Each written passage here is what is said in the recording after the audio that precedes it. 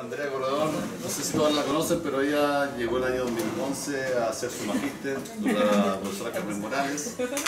el magíster, y paralelamente ingresó al doctorado y ahora está en su etapa prefinal, se podría decir, y está presentando resultados avanzados del primer manuscrito que está enviando próximamente a una revista muy importante, así que ella le va a contar más, así que bienvenida.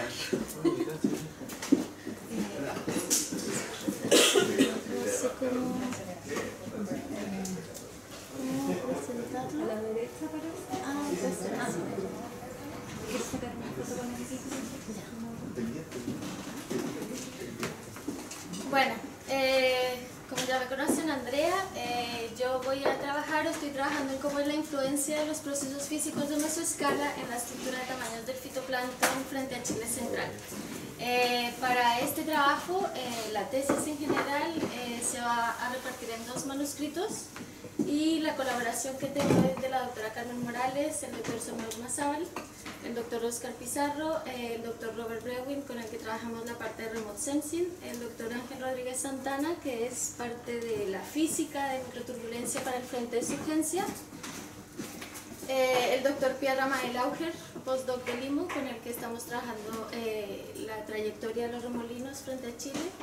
el doctor Marco Correa Ramírez, quien también eh, hace parte del Remote Sensing, y con eh, doctora candidata Valeria Navalón. No sé cómo pasar allá. No sé cómo presentarlo. No sé, no sé cómo... Ahí, Ahí, presentas. Eh, bueno, eh, básicamente, bueno, en el espacio y en el tiempo hay diferentes actividades, tanto físicas como eh, biogeoquímicas, así que eh, mi foco de interés va a ser los procesos de mesoescala que van entre días a meses y entre kilómetros, entre 10 a 100 kilómetros. Hay dos características que son ubicuas y fre- y frecuentes en el océano, que cubren más del 30% del océano. eh, eh, dentro de estos están los frentes de surgencia y los remolinos de mesoescala.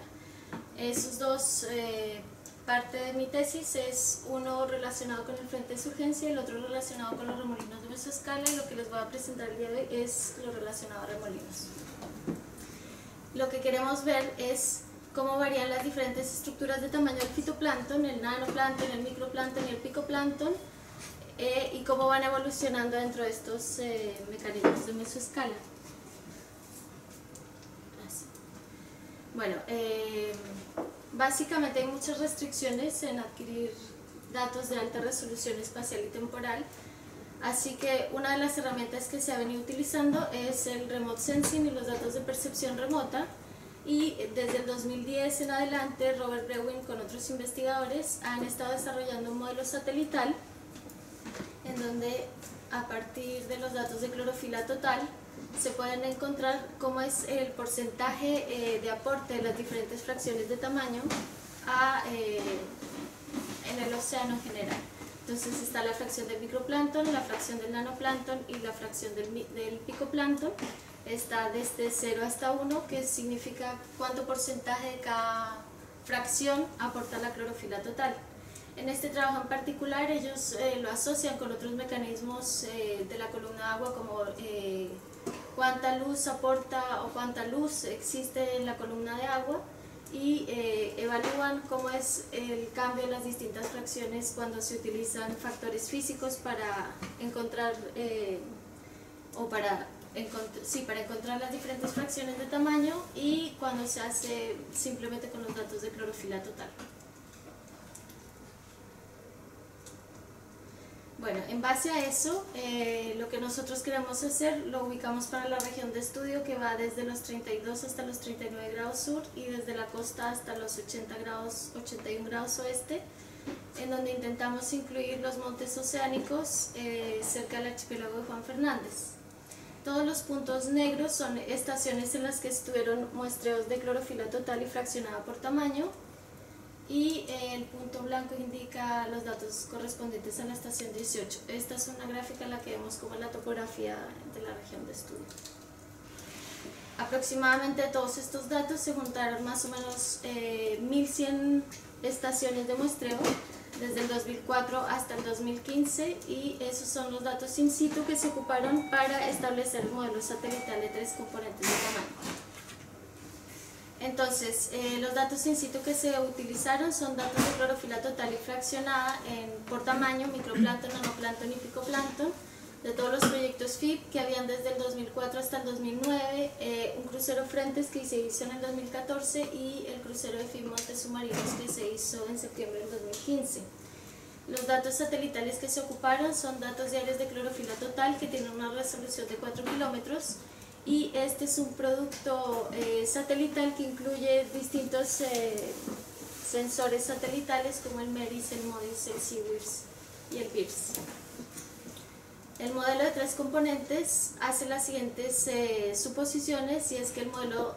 indica que la clorofila total es la suma de las fracciones de tamaño, el micro, nano, picoplancton,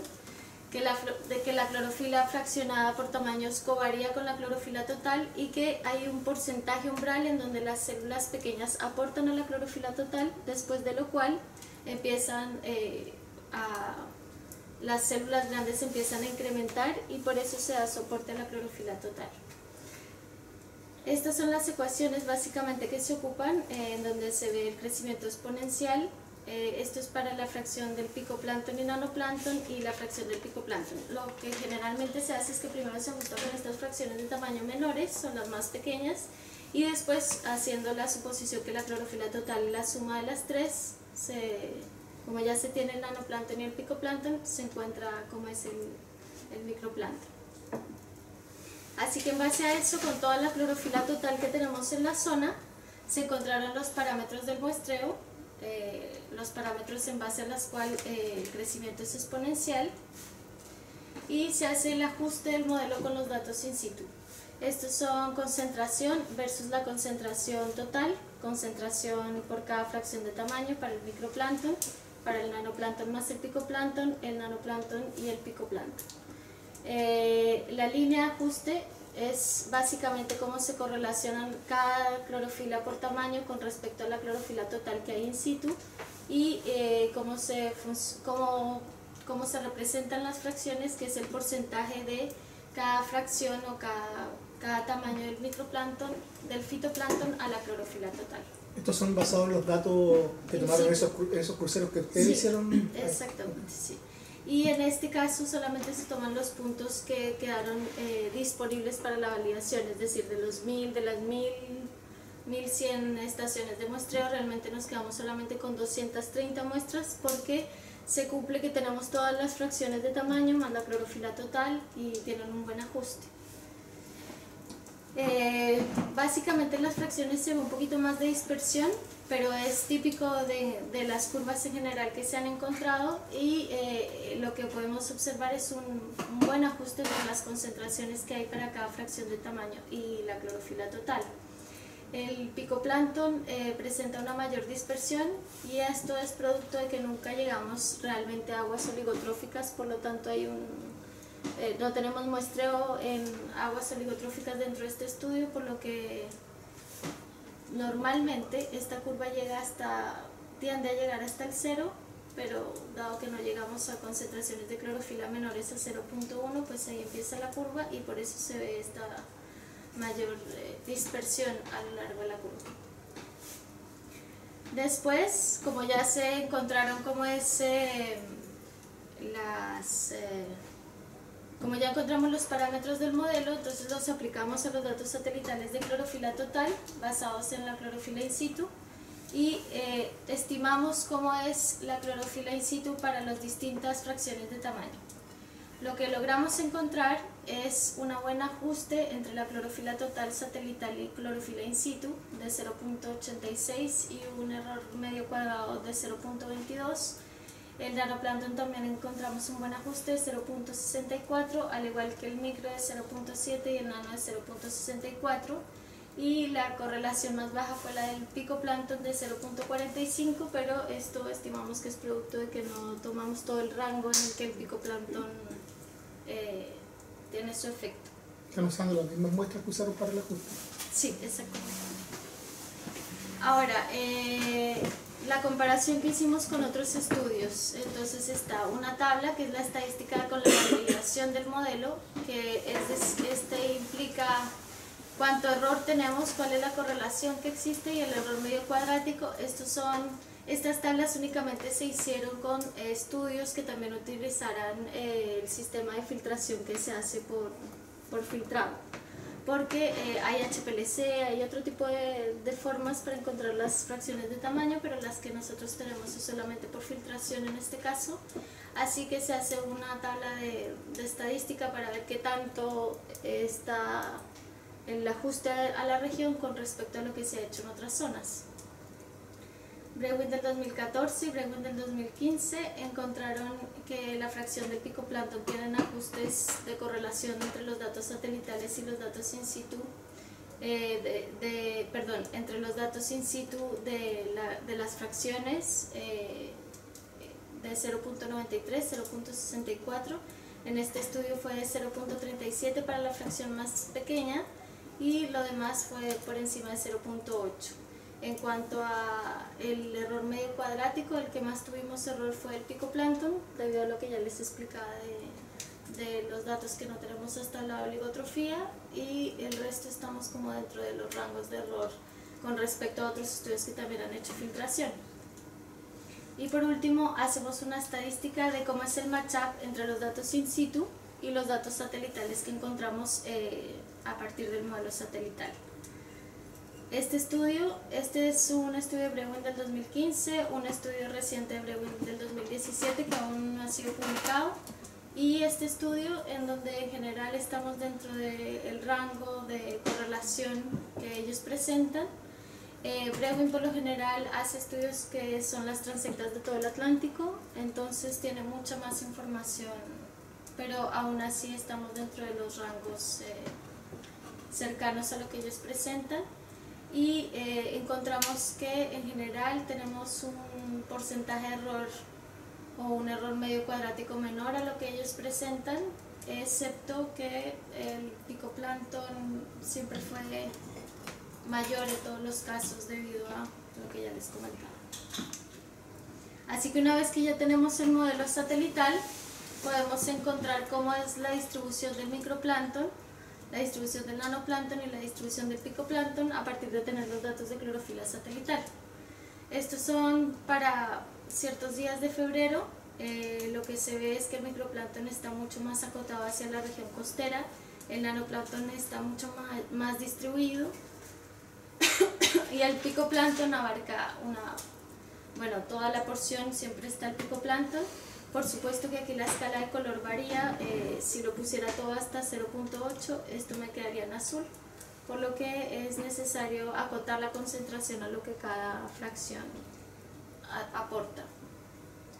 Así que esto lo que nos permite encontrar es cómo en las distintas estructuras de mesoescala podemos ver cómo los diferentes tamaños se van a distribuir y van a relacionarse con respecto a lo que está sucediendo en la parte física. Así que una vez haciendo esto dijimos, bueno, entonces sigamos ciertos remolinos y veamos cómo la estructura de tamaño va cambiando a lo largo del tiempo. Así que escogimos eh, cuatro remolinos que vamos a seguir en el tiempo y son un anticiclón intratermoclina, otro anticiclón que presumimos que también es eh, intratermoclina, eh, un anticiclón superficial y un ciclón superficial. En las figuras super, superiores encontramos como la trayectoria que vamos a seguir. El remolino puede haber empezado antes y puede terminar después, pero como lo que nosotros queremos saber es cómo las fracciones de tamaño se distribuyen dentro del remolino, nos vamos a quedar únicamente con eh, aquellas, aquellas semanas en donde tenemos más del 70% de cobertura de información dentro del remolino para asegurarnos que lo que estamos haciendo es o sea, tiene, es robusto. Entonces aquí se ve el tiempo en semanas. Lo que logramos seguir para cada uno de los remolinos fue desde 30 semanas hasta 43 semanas. El anticiclón 1 lo seguimos desde el diciembre del 2014 hasta agosto del 2015, el anticiclón 2 desde enero del 2014 a agosto del 2014, el anticiclón 3 desde febrero del 2014 a noviembre del 2014 y el ciclón 1 desde noviembre del 2014 hasta eh, octubre del 2015. Y lo que presentamos aquí son cómo son las características de cada uno de estos remolinos. El radio, que es básicamente cuál es la cobertura eh, que ocupa el remolino espacialmente, la amplitud en centímetros, que es la diferencia entre el nivel del mar desde el centro del remolino hacia su periferia, y la velocidad rotacional, que es la velocidad del remolino en la periferia con la que se está, se está transportando. En la parte donde no hay dato es porque no cubre el 70% de cobertura dentro del remolino, pero posteriormente sí lo continúa, así que simplemente deje ese espacio para poder seguir lo que queda de remolino. Entonces lo que hicimos fue ver cómo las fracciones de fitoplancton van cambiando alrededor de cada remolino. Para asegurarnos que nos estamos quedando solo con la mesoescala, la clorofila total eh, se filtró, se le quitó la climatología en orden de quedarnos con anomalías de clorofila. Y básicamente esta es la clorofila total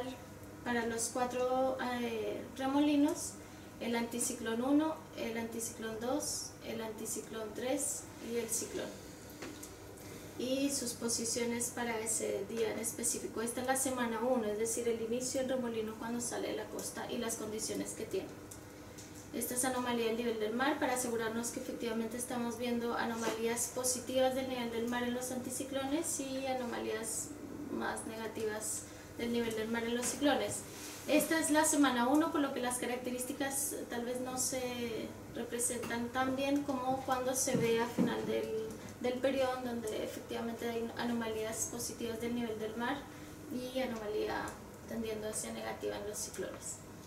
Esta representación, bueno, eh, lo que he visto, lo que hacen otros estudios es que representan como la clorofila total. No, no he encontrado ningún eh, artículo que lo haga con las fracciones, por lo que lo representé exactamente igual a como lo hace la clorofila total y lo que representa es, bueno, eh, como la clorofila, la, la, grilla es en coordenadas cartesianas, longitud, latitud, entonces la mayoría de los artículos lo que hacen es que ponen el centro del remolino y empiezan a hacer eh, promedios radiales para ver cómo se está distribuyendo el fitoplancton desde el remolino, desde el centro hacia la periferia. Este es el aporte de la fracción del microplancton, el aporte de la fracción del nanoplancton y el aporte del picoplancton. Lo que se ve en el anticiclón en general es eh, que el, centro está, digamos, lo que con menos, menos eh, y el ciclón tiene en general mucho más microplancton en, en toda su extensión. Esta escala significa eh, un radio o dos radios según lo que presenté antes de las características de cada remolino. ¿Es el promedio para toda la vida del remolino? No, esto es solamente para un caso, la semana 1, claro, la semana inicio. Este es el nanoplancton, el porcentaje de contribución del nanoplancton en el centro y en la periferia y lo mismo eh, para el picoplancton. Eh, esto es porcentaje de contribución no concentración sino porcentaje de contribución y lo que encontramos es que el microplancton y el nanoplancton en general son los que mayor cobertura o aporte tienen dentro de los remolinos y en menor, eh, en menor medida el picoplancton. Ahora, como esto lo tenemos para una semana, eso mismo se hace para todo el tiempo de seguimiento del remolino y lo que puedo ver es cómo, cómo es la fracción de cada eh, cómo es el aporte de cada fracción de tamaño al centro del remolino y en la periferia. Y tenemos aquí el seguimiento en el tiempo. Eh, la línea negra es eh, lo que hay en el centro del remolino y la línea azul es lo que hay en la periferia. En general no hubo mucha diferencia entre lo que había entre el centro y su periferia, pero lo que sí logramos encontrar es que el anticiclón 1 en las primeras semanas, las primeras 5 o 6 semanas de vida, se comporta muy similar a lo que pasa en los ciclones superficiales, siendo que este sabemos que es un anticiclón intratermoclina, por lo que llegó hasta el monte submarino y pudimos tener estaciones de CTD en donde se veía que era un, un intratermoclina. Este asumimos que también lo es, porque varias veces se ha mostrado eh, o un par de papers lo, lo han encontrado frente a Concepción.